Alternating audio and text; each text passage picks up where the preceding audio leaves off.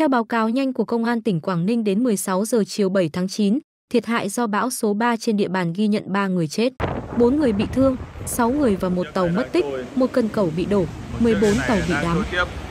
Cụ thể vào lúc 14 giờ 30 phút chiều nay, tại khu neo đậu tránh trú bão trên vịnh Bồ Nâu, vịnh Hạ Long, tàu lai dắt Hồng Gai của công ty cổ phần cảng Quảng Ninh đứt dây neo và bị cuốn ra biển. Tại thời điểm xảy ra, trên tàu có 7 thuyền viên, trong đó một người bị rơi xuống biển và tử vong. Hiện đã vớt được thi thể lên bờ, 6 người còn lại đang mất liên lạc. Tại thành phố Hạ Long có một người chết do bị mái tôn sập tại phường Hà Trung và 4 người bị thương do bị cây đổ. Sập mái tôn, kính bay vào người, điện giật đã được lực lượng công an đưa đi cấp cứu kịp thời. Tại thành phố Cẩm Phả có một người bị chết trong khi chẳng chéo mái nhà ở phường Cẩm Thạch.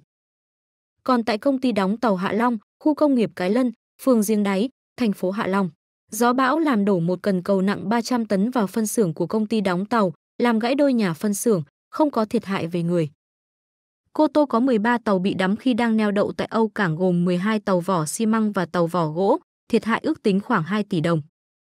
Ghi nhận bước đầu hàng trăm nhà dân bị tốc mái, hàng nghìn cây xanh, cột điện, biển báo bị gãy, đổ.